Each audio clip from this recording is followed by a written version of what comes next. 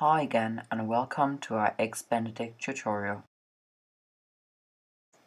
For this you will need, for one person, 2 eggs, 3 slices of bacon, 4 tomatoes, 50 to 70 milliliters of hollandaise sauce, 2 slices of toast, coriander, 7.5 milliliters of vinegar, a pot, a pan, and 500 to 1000 milliliters of boiling water.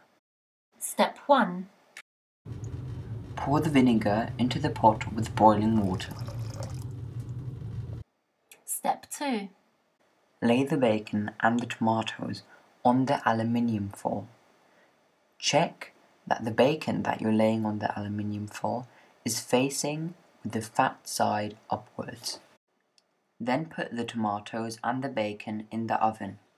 Step 3. Now crack the eggs and put them in a separate bowl.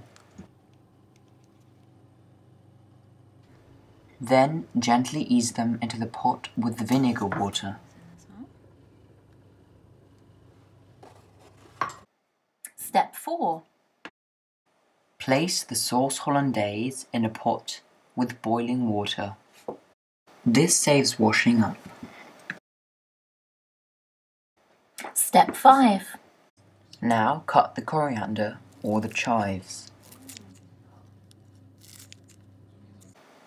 Step 6. Put the toast in the toaster. Step 7.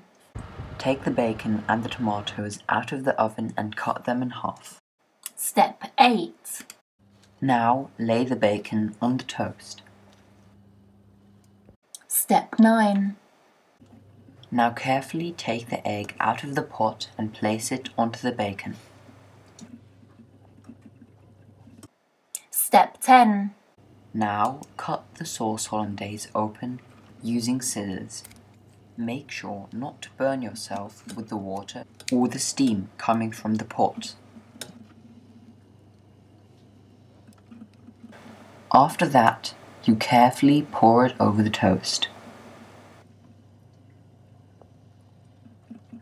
Step 11. Scatter the coriander over the toast and then lay the tomatoes next to the toast. This brightens up the plate a little bit. Step 12.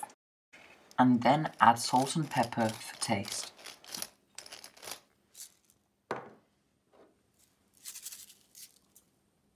Now you are done. Enjoy your breakfast. Please leave a like and consider subscribing.